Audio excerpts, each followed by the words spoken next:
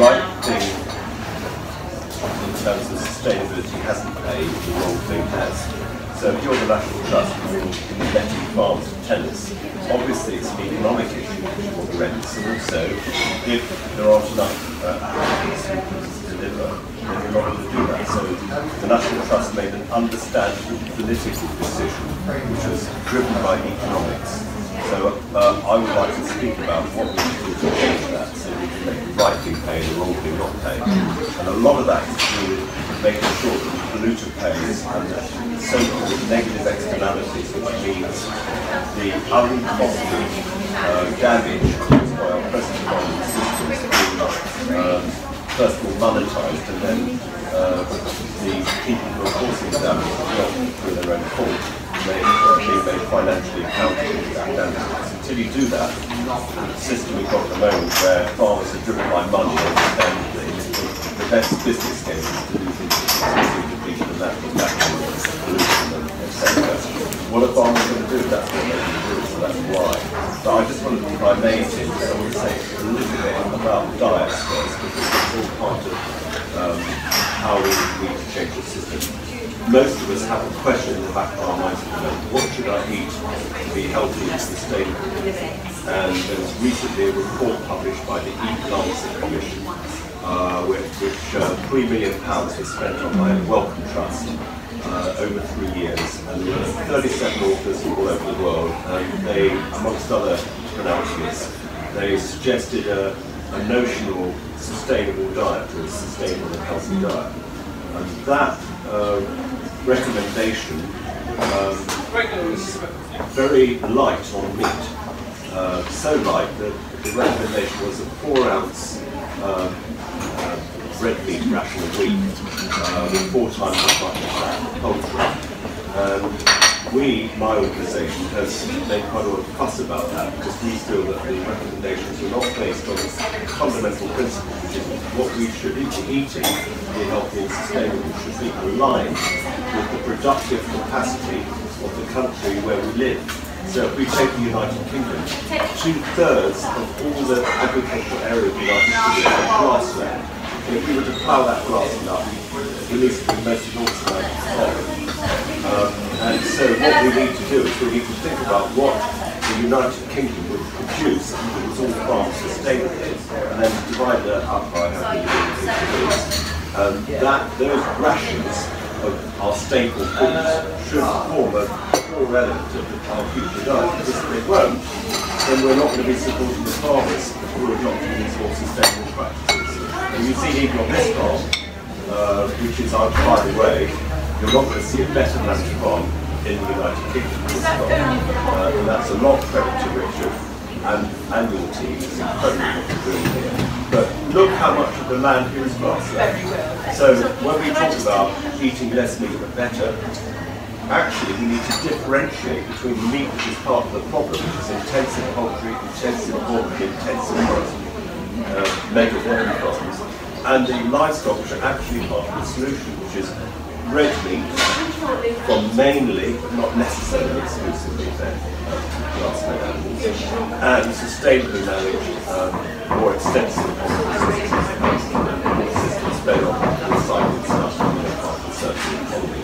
We need to really think deeply about that because we abandon all these livestock farms in the west of Britain who are basically doing a good job and are not being they're really in, in considerable trouble at the moment. Are just giving up quietly they do? And we need to repatriate the reputation of red meat because it's actually and by the way, two reports have come up just in the last couple of weeks, which are challenging the whole basis on which the Eat Lancet and everybody else has brought out reports recently, but basically their conclusions about the role of uh, red meat. One literally I saw yesterday, and there was another one from Oxford Marketing University about 10 days ago, both saying that the methane emission calculation that was made by FAO and others, which is formed the basis of all these dietary interpretations, basically wrong.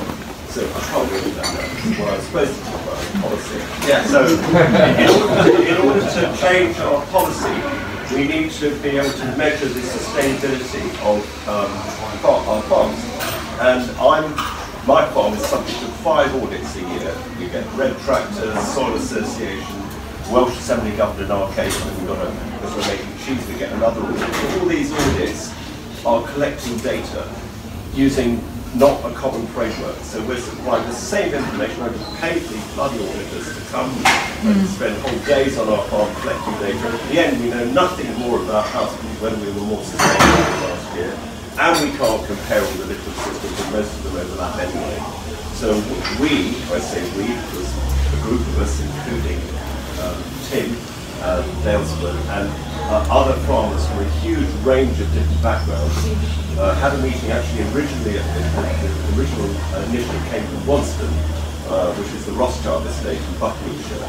And we sat around the table and we thought, we are the farmers and the land managers, we should look at this situation where these audits are overlapping and collecting our data and not making them useful to us, and think about how we develop a harmonised framework for the annual data collection of all our farms and uh, produce and, make sure that the data that we, is being collected is possible. If you require scientists and uh, consultants to spend days and days collecting it, that's not sensible. But in an ideal world, that data would provide DEFRA and the Welsh Assembly Government with a tool to make decisions about how we could be rewarded for our soil, water, biodiversity, nutrient management, livestock management, crop management, social capital, natural capital. Um, and that data would then form the basis of a national inventory of data for which have multiple purposes. We use benchmarking, we use me to manage myself against myself on a year-by basis. I want to know whether my soil is better than last year or my biodiversity. I talk to Tim or to Richard and say, what's your score for the Daylesford biodiversity? Mine's X and yours is only Y.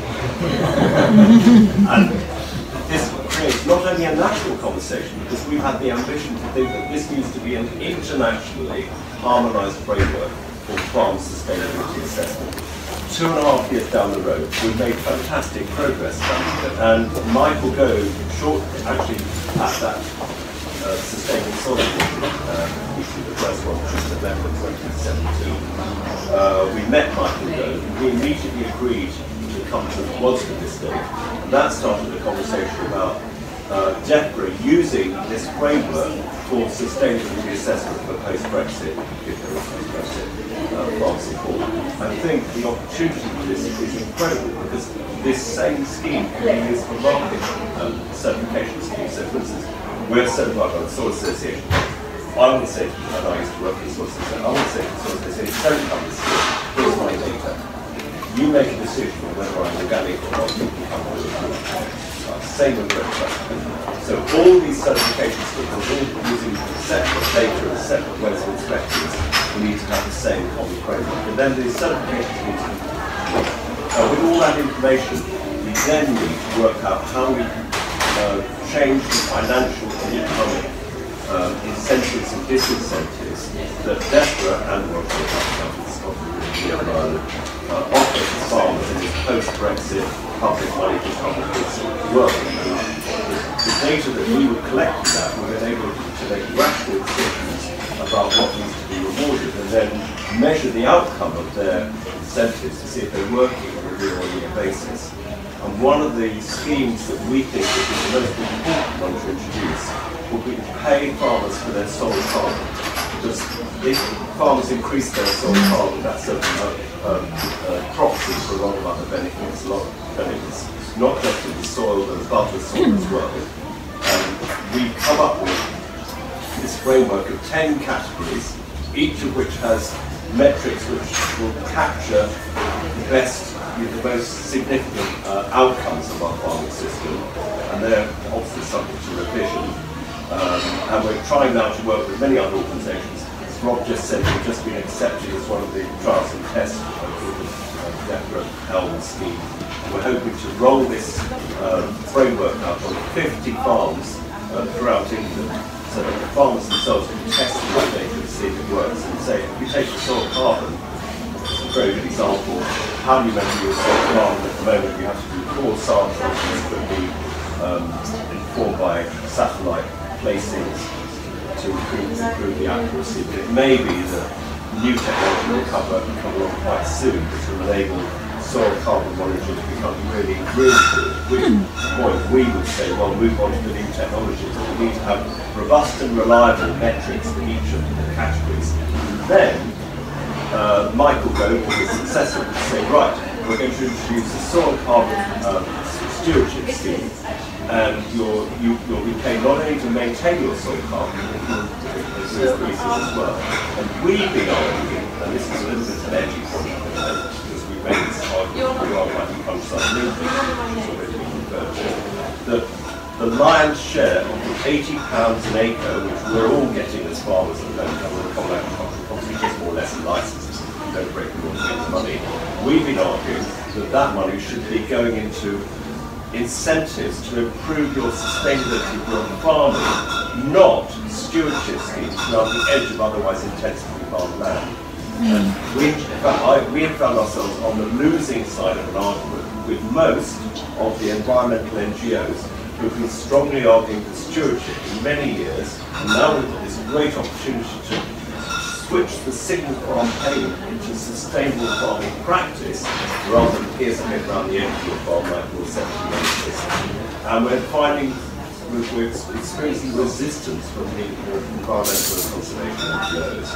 I think that that's because they've got used to the sort of psychology of thinking that conventional farming, the intensive kind of farming, is the norm, and therefore we have to protect what's left around the edges of uh, preserve any biodiversity. And in fact, we now know that not only has that failed to arrest the decline in biodiversity, but actually it's put farmers in a straitjacket, which has perpetuated the type of farming systems which are based on intensive methods.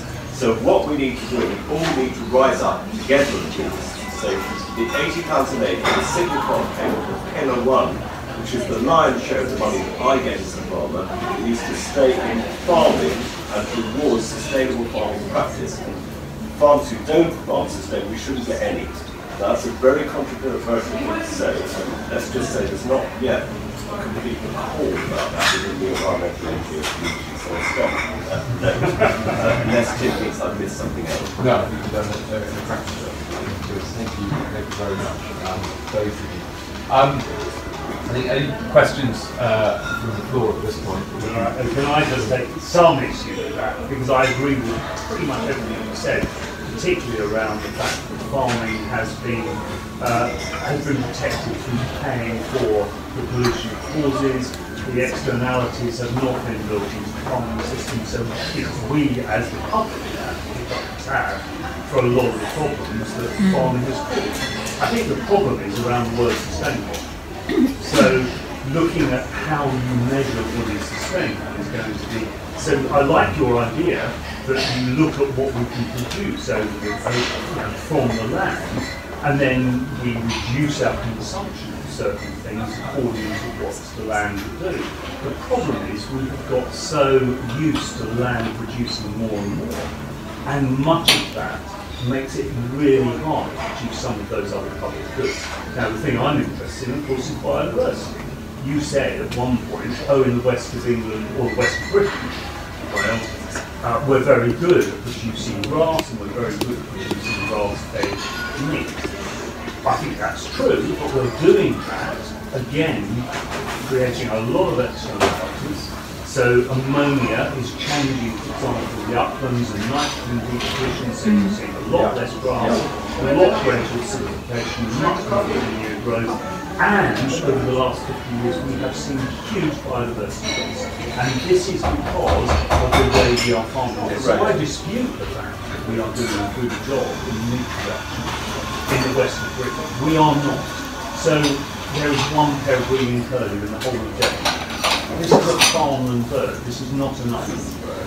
So if we really want to deliver public goods, and we want some of those public goods to be biodiversity, we cannot go on producing food, meat, in the way that we are at the moment. But farmers right. are not evil people.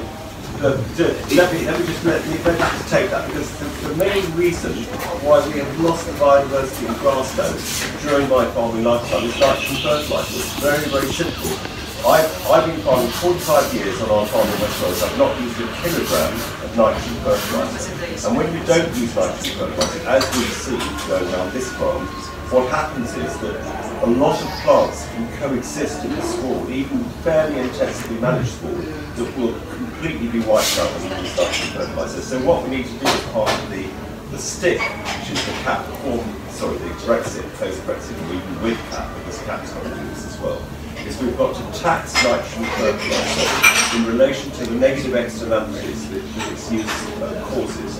And the European Nitrogen Assessment have done an analysis of the business of how much, if you buy nitrogen fertilizer, let's say it costs a kilogram, something like that, the negative externalities arising from that same pound spent are three pounds. So in other words, if you tax it according to the damage it does to nitrous oxide, to groundwater pollution, and the damage to biodiversity, and all the other things, bad things it does, you wipe out the business case for its use. So yes, it's true that the, the livestock farmers of waste have not been doing the best way. But if you sorted out that nitrogen problem, you, you could reverse the biodiversity at scale, all over, all over the UK and actually all over the world. Nitrogen fertilizer is a drug of choice. It's basically used by farmers all over the world because it pays. So we've got to make sure that it doesn't pay, not in a sort of pejorative way, but just because we want to be honest about it. And rule of thumb, so that's your, that's your but your Yes. carrot is to be rewarded on your biodiversity of, And or your target back species for your county. And then all of a sudden you become very good at controlling the audience, um, or, or Can I ask a question way above my pay grade? What happens in, in that transition period for farmers? Because the farmers that I deal with are by definition not well, and so I'm I've spoken to many farmers who are beleaguered, they're not well, they're under pressure. So how do we make this easy for people to transition into this? Because it's not just simply a matter of stopping intensive agriculture and then all the butterflies come back. So what happens to people in that transition period? How do we make it easy? How do we support them? What carrots are built in? I think if you took away pillar one tomorrow, I think 80% of farmers would be unprofitable. Yes. Is it- is it stat or something? That's right. Yeah. And I think that's where Yeah. that's where Broadchurch is so important with what Richard's doing, engaging Tesco's in the supply chain, and what we're doing in agroecology, in that we're not trying to just preach everyone needs to be organic tomorrow, but here's a few ideas to keep the soil in your fields, or build fertility in your leys, or, or protect it from reduce antibiotic usage, or, or so on. Um, so I think it's it's not been preaching, and Richard's very keen not to, to diss current farming systems because they've been pushed into that. that It- It's certainly not about farmers. Farmers are not bad people. They want the environment to be looked after and the biodiversity to improve hugely. It's Most policy and it's decades of policy. Yes. make money from it. It's as simple as that. Very, very few farmers who wouldn't want to farm in a more nature-friendly way. They could make it happen. Profitable farming is about volume. Five tons of wheat to the acre with 100 pounds worth of acre of nitrogen, 100 pounds worth of acre agrochemicals pays money. Yep. And they, at the moment they're opting to go for the very intensive, let's produce more type style. In this country, actually, it's very hard to get more intensive farmers to engage with us as organic farmers, but it's turning. Because of who I work for and where I work, many times I've met with Patrick and we've met visitors from Europe and Australasia and America. All of these people have a much better relationship with their more intensive colleagues at home. So if it's a French farmer, a Dutch farmer, a German farmer, a Spanish one, they work very closely with their organic, their more sustainable farming systems and they want to share knowledge. That's what agroecology is about. My title within agroecology is chairman of the steering group. And I don't get heavily involved, these guys run it, but absolutely chair it. It's about practical farming solutions. It's about telling people what did work and telling people about what didn't work. The only way we're going to change the use of artificial nitrogen is exactly what you're saying. You put it so eloquently, you know, why we need to do it and these taxes and so on, pulling these nitrogen uses out. And we will stop the decline in biodiversity, but it's not farmers. Don't ever don't blame the individual farmer. He's merely trying to keep his head above water, whether he's farming in the west of England in Wales or East Anglia on the Fens. It's, he knows he has to have that mass production. So government and you guys and us through demonstration need to prove that there is a different way of doing it, but there's going to be some pretty drastic change. And here. WWF, National Trust, you guys have got the members. So what you say about these things really, really matters because you've got more, you've probably got more influence on government. You know, if Michael Gove or whoever's got cold feet about some of this stuff, particularly election tax, for instance, uh, then if, you know, enough NGOs with big membership start to say, no, we need this because otherwise you can't get the farmers doing what they want to do, that's hugely powerful. I think one of the really interesting things what's doing with trust is that idea of farm there as well. Which how much like on they trust many people. Uh, best it's going to be another farmer. So the idea of you know, convening farmers together, trying to get us learning. Yeah, I mean, it just, it's, actually, it's, we forget actually, learning is fun. And even if you're beleaguered, it's, it's quite good to get out and see something else in a good environment with friendly people you might learn. And we're all too busy to give ourselves that. So, so some years ago, when I was looking at the first Prince of Wales Primary School I ended up being on the, one of the um, contributors, shall I say, and on, on on the and sharing a few of the. Um, and also, I worked in France many years ago, and I worked with cooperatives and farmers, and I worked with some pretty intensive people to some very expensive people. But what was impressive to me was the way that people collaborated and learned and um, shared their ideas. And so, just recently, the last um, two or three years, we, we formed a, an innovation group of farmers, and we've, we've deliberately going, we're leading environmental farmers outside the national trust, and we literally have a very nice coach. we drive around, we actually enjoy people's um, views and opinions, we don't agree with them all the time, but it's really, really helpful. And we're very lucky in this, this country to have been the, um, the Nuffield Scholarship. But actually, you're under a certain age, and putting it up three months of your, your, your life, your busy life to go and do it. So actually, there's you a small subset of people get to do that. Then they come back and they might be putting things in practice. So actually, we work quite well with going to see some Nuffield scholars who come back and started doing what they learned. from. And this is also very inexpensive to do. It's right on our doorstep. You don't have to go to, to the US to see holistic management. It's happening alive and well in, the UK actually. So it's a question of exactly. And, and, these things, to my mind, are fascinating because the stuff that I was taught um, at, at, uh, at university about farming are very different from what my current understanding is or more enlightened thinking. It's all, yeah, well, you would have said that then because that was fairly limited knowledge. But now that we understand that we're going to be much more, it's an overused word, but holistic, we're going to be more joined up way. Um, but it's just great to see things which actually work. And as, as you know, um, we've got some farmers who are trying, they're cutting edge, trying new techniques. But what's lovely is that they may not, they may still be in a bit of a bubble. So if they're able to put people who've been for years, give them reassurance that they're on the right way and actually it makes sense. Um, and your question about how do you help people transition, it's going to be a lumpy ride for people who change. I mean, we all find change challenging, I'm sure.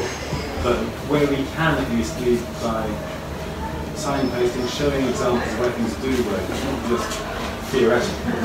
It, it, that's pretty powerful. And I've seen some interesting change people who you would have thought were fairly set in their ways, who are prepared to think differently. Uh, I know people who've had from Formula One cars. so the big coat hanger sort of Holsteins, fed on soya and really head to Hilton, amazingly productive. And people like that have actually decided Hmm, there's only as far as you can go. You've got a very fragile system. If it breaks, it breaks in spectacular fashion. And there are, there are people who are changing from that system to a more uh, less stressful system. You've got British Friesians here, haven't you, um, uh, um, Richard? And, and others are using Friesian cross jerseys and, and genetics. Basically, smaller yielding cows, a lot more of them, and they're under a lot less stress. Their vet bills are falling through the floor. They're not having to worry about that so much. And there's, they, they, they lactate for you know, maybe eight, nine years without any problems. So it's a very different system. and they do tend to work. They're more resilient because they're not chasing the yield, they're chasing the overall cost. Um, and whilst we haven't got a, nitrogen tax at the moment, just the penny has dropped. But actually, why am I spending so much money on spreading stuff, collecting? There are different ways to do farming, actually, again, it's getting over the inertia of bigger is better. To what's the bottom line? What's the actual financial bottom line of the business? And we've got some, again, north of England, fabulous example of some of our really good farmers now who were conventionally trained, there is very large cattle fed on sugar-rich silage, which they're having to travel a long way to get, and not there's, plenty of job with that, I'm chasing my tails, I can't, I can't go any faster. And now getting into breeds which are actually slower growing, which can utilise the forage which is right literally on the farm, uh, is way more profitable and a lot less stress. What, what's the what's the current age of a farmer in this country? It's ridiculous, isn't it? It's like 60 something. Yeah. And the most onerous and worrying part of being a farmer today is applying for subsidy and money. The window's just opened for BPS applications. Those of you don't know, you know, single farm payment. It's absolutely terrifying. People are frightened of it, feel excluded, not included. And this new system needs to be inclusive and made something which is an enjoyable challenge for them to rise to. So we apply for our money, we have our stewardship schemes. Yes, we try and grow our wildflowers and our strips and our boundaries and all these sorts of things. And then we're notified that we're going to be inspected by one of Her Majesty's inspectors. It's the most intimidating, uh, awful running process that they go through. They came here, they were here for three weeks, talk about jobs worth, to tell me that I'm ploughing, you know, 10 centimetres too close to the hedge or, or But that's that's the whole tyranny of the system we've got, which is that we're, we're inspected to a ridiculous degree with these things around the edge of farms, which are destroying all the biodiversity. That's exactly so what right. we really need to do is to, is to support farming practice across the whole farm, Yep. which is harmonious with biodiversity. It is possible to produce food working harmony. It's just that the subsidies have driven it in the wrong direction. And I don't want to disagree with what you said, but the truth is that from a lot of farmers who haven't got niche markets or, you know, who are not innovators or creative thinkers, if you're in a position of being a commodity slave, uh, which most farmers are, we're just producing our crops at or less than the cost production, markets are not properly rewarding us, then it's very hard to, you know, I mean, we're doing it because, you know, we're making cheese out of it. We've got an 80 cow herd, so we're way below the threshold of normal profitability. And because I'm privileged, I've got a day job and I've, you know, we've got these special markets, we're charging uh, high price commodities and we're making for most farmers, they're not that position. So unless you get this 80,000 acre, we get 30,000 pounds a year from Welsh Assembly government just for farming, is basically what it comes down to. With that money, if you said to all the farmers of England, you could only get that money next year if you change your farming practice, you change the whole of your farm, you build soil farming, you do these other wonderful things. Most farmers would start to change, but if you don't do that, it's not going to happen. So this money is really critical. And I, I, I echo that, but, but a note of optimism is we can get people a bit worried about inspection. you're very happy. People, I'm afraid, do live probably the less. And you don't want to be giving money away when you shouldn't be doing it. It's all our money, like tax. But on a positive note, there are some schemes, payment for outcome schemes, which actually do show a much more positive relationship with, with, um, with a sector essentially is a, is a, is a, is a. Um, and the most um, inspiring uh, thing I've seen is actually over in, in the Republic of Ireland at County Clare, the Burren Project. And Burren is a fabulous area of limestone taking, world heritage, renowned, spectacular. There are, you can't help but tread on orchids, go for a walk, it's, it's impressive. But it was under severe threat because it was beginning to become uh, more intensively managed, quite green grass, lots of nitrogen, and big continental cattle. And it was moving in a, direction where 20 years ago it was decided to, to, to halt it. And a scheme was, was devised, and the people who started it are still there now, and continuity pays a lot. And farmers are rewarded. The more they do, the more they get rewarded. And they self-police. Uh, not all the time, but they largely self-police. And I've met some of the most entertaining individuals who we think aren't the likely ones to go into this. You think, oh, this is going to be a hard sell. And I was quite sceptical that this would work. you read about things, you think, what is it really like? So getting to speak to the, some of the farmers involved was enlightening for me because they actually do compete with each other to perform better because they reward it more. So rather than talk about how many tons of people you've got or how many litres to carry, it's actually, well, I've managed this, this, and this, and I've got more uh, environmental outcomes than you have. And it's involved green, and it actually works. So we on one of these trials groups, we started about three years ago in Yorkshire doing a smaller version. And again, very encouraging, it's a small number of farmers, but again, they've done the same thing. And they are really pleased to work out what it is we're supposed to do. All these years environment schools, really you've just got some, a menu, and if you don't deliver it, you, you know, you get, you a penalty. It's very different if you actually help engineer what you're supposed to be doing, and you then get why I'm doing this. And then you get people who again also get competitive about it's one thing to know what weeds are in your crop, another if you know what um, what beneficial um, foods you've got in your pasture, and people are starting to trade these ideas.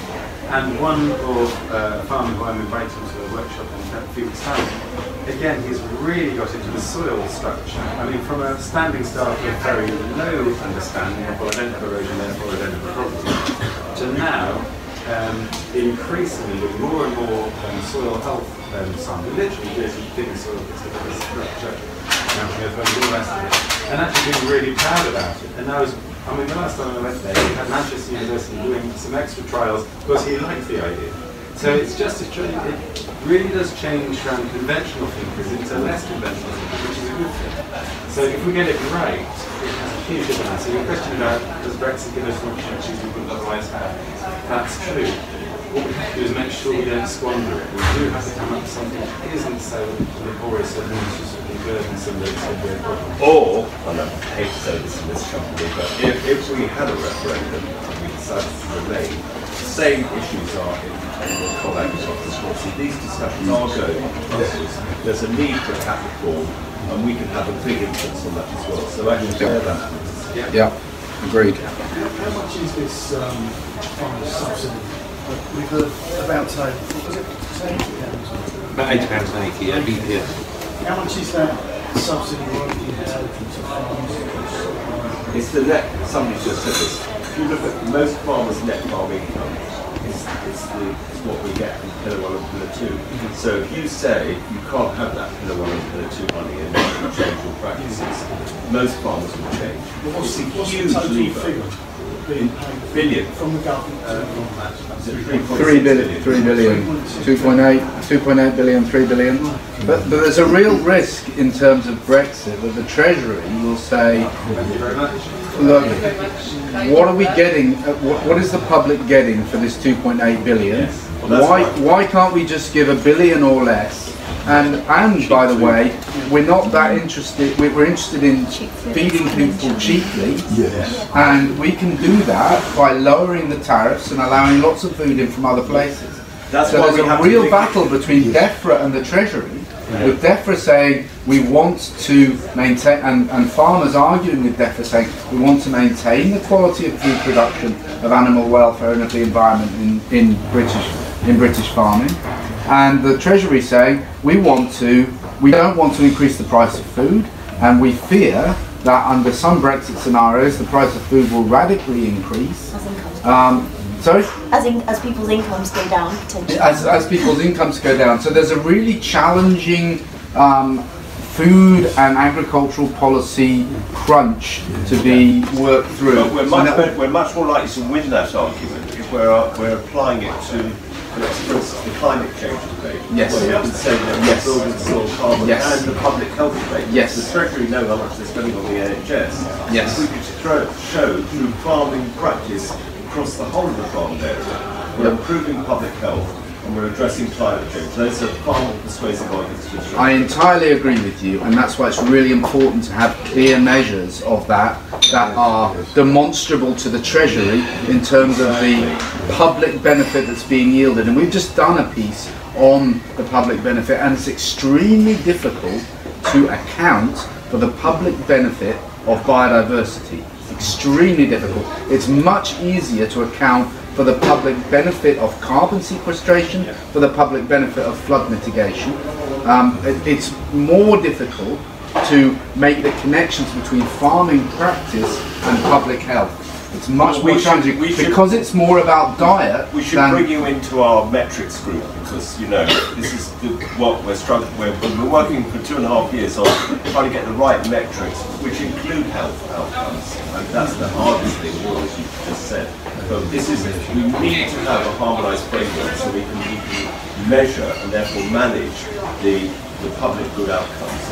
But the I- I'm gonna for have that to, need to go uh, into the Treasury in the next six months No, you- about what we could get can for the national benefit from agriculture and food. We're going to have to. We're going to have to.